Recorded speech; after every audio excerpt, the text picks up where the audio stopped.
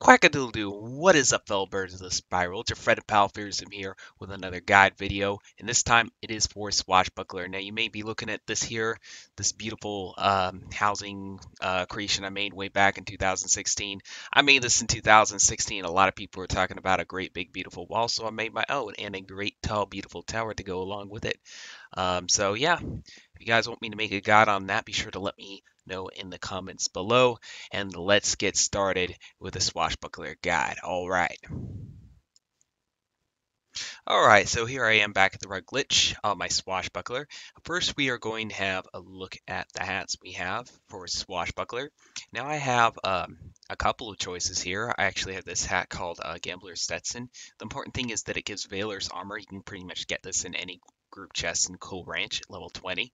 Um, it's just really good to have because you can just be, put it on when you're at like half health and you can enjoy the benefits of um, elusive and uh, turn the tide, you know, and uh, still have enough health to you know basically stay alive. So it's it's super super super helpful. The next one, of course, would be this here um, hat from Tower of Manchu. You can farm it as a swashbuckler, and you can get um, three versions of this: a level 55, a level 60, and a level um, a level 65 as well. So the important thing, Walk in Darkness, Assassin Strike, really good for team battles where you are actually supported. Um, but an, an, extra hide in Assassin Strike is really nice to have. Of course, there's a hat and Mooshu that gives Veiler Fortress. A lot of swashers use that. I don't have it on me right now, but um, that's also a viable option. All right, well, next we're going to have a look at the coats. Now, Blood's coat is something only used for PvE. If you see a swashbuckler use it, hopefully they're using it for PvE. Now I'm letting you guys know the ability of Blood's Flames does not work in PvP. It is a horrible coat for PvP. It's only per, for PvE. Only for PvE. Don't use in PvP. It is a bad idea. This is an ability-based game. That being said, here are some of the coats that can be used in both PvP and PvE. Here we go. This coat here, great for team PvP because it gives Walk in Darkness and Assassin's Gloom, and poisons are like the juice for swashbucklers, especially in team battles where you have lots of units to poison. And here are some of the other coats I use for various reasons. Um, just whatever suits your style. All these are great and viable options. Alright, well I guess I will go ahead and move straight into boots. Um, once again, this uh, this particular um, pair of boots, the Imperial Boots of Fu Manchu, only good for PvE. Why? Because Frozen Tide only works in PvE. So only PvE for this particular set of boots. So that's the reason why I see some swashbucklers wear them. All right, here are the rest of the viable options for boots, and they aren't very many. They're just three of them. This here, Veiler's Armor, I don't recommend using this a lot unless it's in like a 4v4. But, you know, once again, whatever strat, you know, works, you, you may find this viable. So uh, be sure to try that out. Um, this is the most common one for uh, swashbucklers to use, and the main reason is because of the 12 dodge in the Veiler's uh, Fortress. Damage is also quite nice, uh, but you could also get this version if for some reason this version over here is not dropping. This one comes from Mooshu. You can get them pretty much any group chest at level 45. Um, so those are pretty much the boot options. All right, well, I guess it's time to move on to the weapons. This is hands down the best weapon for PvE and PvP. Unless you're farming with Scratch, you might want to use a high damage will based weapon. This is so your swashbuckler can carry the scratch buff. Now, do not use this in PvP. Most of the times, Scratch is banned. Most tournaments I've ever been in, he usually is. Not only that, you wouldn't be playing Swashbuckler if Scratch was allowed. So, don't use this weapon outside of PvE. Really, really bad. Um, but it's good for PvE. Okay? This is good for PvE, PvP and PvE. All these are viable options right here. Really good to have. Um, but there is one uh, weapon you can get if you just don't want to farm at all, and it is really good as well. I'm going to show it to you. It's in the Crown Shop. Um, this weapon here, this level 70 uh, boarding knives, it gives an assassin strike and some pretty good stats. Now, perfectly understand you buying this because honestly, I mean, I would rather buy a weapon than farm for it most of the time, but I farm for it when I'm, you know, way back when. I farm for all my weapons way back when. So, and uh, Staff of Power is pretty sweet, so I don't completely regret it either. So those are pretty much the, the weapons you have for Swashbuckler that I would recommend you getting. All right, well, let us move straight into um, eye patches. There are a couple of viable options. I guess I'll start out with one in the crown shop. Um, you have basically St. Fido's patch level 70. If you absolutely do not have anything else drop that has an ability that is equipable for Swashbuckler, this is a last resort option. It does give some accuracy, some dodge, and some weapon power, which is better than nothing. Um, but that being said, let's get to uh, what is actually preferred. So what I have right here is the Excepolis Talesman. This is hands down the best eye patch because it gives Valor's Fortress uh, which of course reduces 50% incoming damage uh, for five turns. Really good to have. Um, some other semi-viable options here: Revive, uh, better than nothing once again, and then you have the Sky Spirit, again better than nothing. But this is here is you know this is what's ideal for pretty much anything. All right. Um, I guess we'll just roll right into totems. You have a couple of options. This one's pretty standard, but you could get the Stormzilla egg. Now, I thought I mentioned right now, if you do not know where to get some of this gear, look it up in Pirate 101 Central Wiki. There is a link down below in this video. You can click on that and you can search any of the items. You can pause the video, look at the name, type that name into Pirate 101 Central uh, Wiki, and you can basically find where to farm it and you know some other details about it. But this is a guide about you know what gear um, is advisable for Swashbuckler and you know companions and such. Uh, so that being said, there are a couple of banners you could try. Uh, I don't recommend doing this often um, because there are just too many counters to it. Uh, but uh, the swashbuckler banner is uh, fun to play with from time to time, especially in PvE. But every now and then, you know, you control around in PvP. It's uh, quite nice to have this. Um, but honestly, it might not be worth the trouble because it's like 12,000 strip in. I mean, that's a lot. It'll take you forever to get it. So just so you're warned, this here drops in Tower of Fu Manchu, super easy to get. So this is the most common one, um, and it is quite good. All right. I guess we're going to go ahead and move right to charms. All right, well, we are at charms. Here's a good one for team battles. I don't see this one here used uh, very much at all in um, regular 1v1s or um, PVE, but it's it's pretty nice to have on hand. You have the Seven Lamps locket. You can buy this Bazaar, Rocky Key. Again, use Pirate 101 Wiki if you don't know where to get these, but I recommend getting your hands on all three for you know whatever situation or whatever strategy you plan on running.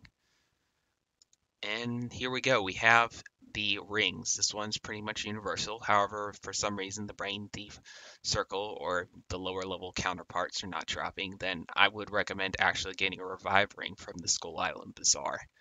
So that um, covers charms and rings, and uh, I think we'll move on to pets next. All right, last but not least, of course, we have pets. Important thing is elusive uh, on your pet because you will be able to get elusive 3 on your swashbuckler if you have that. And having 50% dodge when you're half health super important for swashbuckler. Some other great perks are of course relentless and rally. Soul reaver uh, not as important. Tough not as important. Joba's kiss sent to not as important. Um, but i mean they're they're all right to have um, a brutal charge would really be nice on this pet so if you get brutal charge that's that's a really good one as well by the way, if you guys want good pets, I tend to um, do like a pet morph giveaway once a week or once a month, depending on how I have it scheduled. Right now, it's every Friday at 5 p.m. Central Time. So if you want to hang out with me while I stream and get yourself some good pets, uh, you you can uh, you can go to uh, Realm Avery at 5 p.m. Central Time every Friday, and um, I'll be doing that. So that's pretty much all I have for pets, um, and that covers gear. All right, well, next we are actually going to have a look at the power setup. Um, now, there are a couple of different things you can do power-wise. Honestly, I'll put these two powers like right at the beginning because they're kind of important. Um, particularly for um, 4v4, which is what I really specialize in. Of course, this one will be like up here. This power, Black Fog, will be up here, and you'll put more of your hits, like Assassin Strike, right after that if you're just doing PvE or farming or something like that. And 1v1s, you'll want to spread out your protections a little bit more.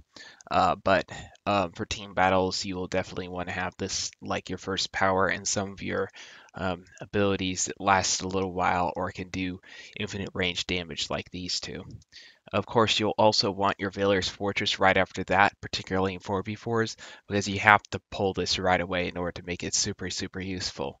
So uh, and of course, your Veiler's armors, um, you want those far up there as well. And a lot of hides. Most of your damage will be done by your poisons, so I also put those up quite high. And later on in the game, you'll be using your Assassin Strikes, especially in 4v4s. Now, there are rare times you will actually heal, so those are all on the second page. Uh, so that pretty much covers the power setups. Now, as far as what you want to train, I'll give you a quick look at all of that. Uh, well, naturally spooky is what I chose. And I recommend if you make a swashbuckler, go naturally spooky, but don't don't um, stress too much if your swashbuckler isn't. It's not it's not going to make that much of a difference. It's just the best, you know, as far as you know what you can make your um your swashbuckler. Witch hunter's kind of nice, big uh, smashy weapon uh, for relentless. Um, of course, you get fast uh, three, but that's something you should train on all of your um all of your pirates. And yeah, Relentless from Hidden Trainer. And uh, yeah, of course, Elusive and all that. I mentioned the elusive pet earlier. And yeah, that covers pretty much everything that you need to train. So whatever you saw as far as what was in my powers, uh, the abilities here, that's what you need to train. And of course, uh, these things over here as well. All right. All right, so we're going to move on to um, uh, the companions, one of my favorites, uh, because it is super important to set your companions uh, in in the way you want to use them, in the roles that you want to put them in. El Toro, great for his buff. Also counter Swashbuckler with that first strike three. You know, just think of whatever you're going to use your companion for and set him for that. Ratbeard obviously is sold the line, and his tankiness makes him great for basically blocking the paths of his enemies. Uh, Repel Boarders 3, you know, reducing accuracy. First Strike 3 also makes him great for counter swash as well. Gaunt Defense on Contessa. Here, I'm just going to give you guys a look at how these guys are set, um, and it will be basically a good, it'll be give you a good idea of how you probably want to set your uh, Swashbuckler companions as well. Um, so you just pause the video anytime you want to have a closer look, because I'm just going to look through these real quick. Uh, this guy's pretty good, but he's kind of slow. That's like his main um, his main downfall, the Battle Angel over here. People think that uh, pack companions are so powerful and everything. They actually aren't. Um, the best thing about packs is actually the pet snacks and the gold and the script and stuff you can get from them.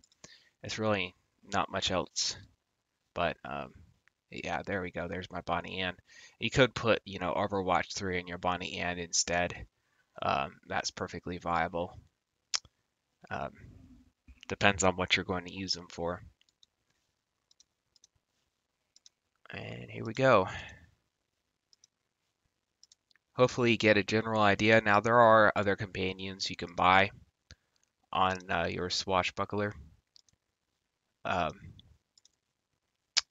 you could get um, Exeter for 4v4s. Exeter is pretty much good on all characters. Um, Temujin's pretty much set the same as uh, Subodai, so uh, you're barely ever going to use Wu-Tang, but I guess I'll just show you.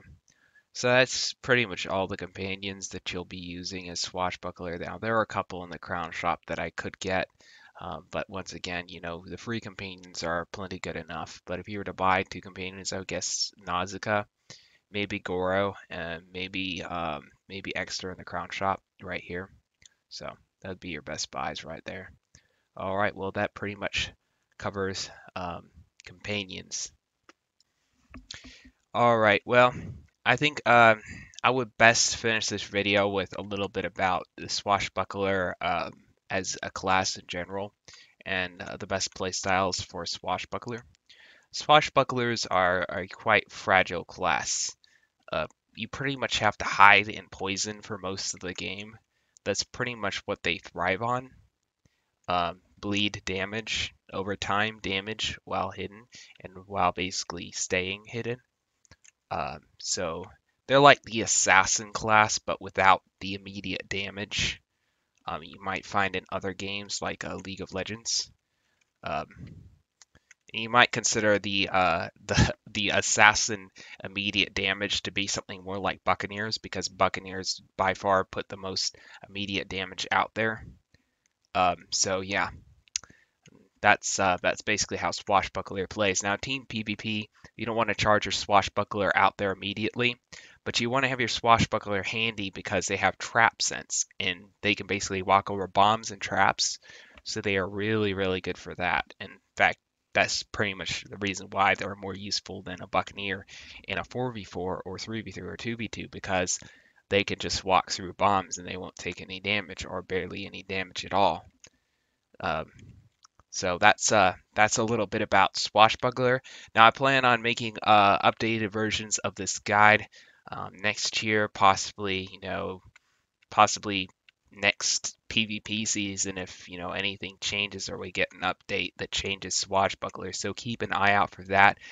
Thank you guys so much for watching this guide. I do really hope that it helps. Um, and you know, if there's any way you can help me out by I don't know, sharing, liking, subscribing, any of that, you know, hey, I appreciate that too.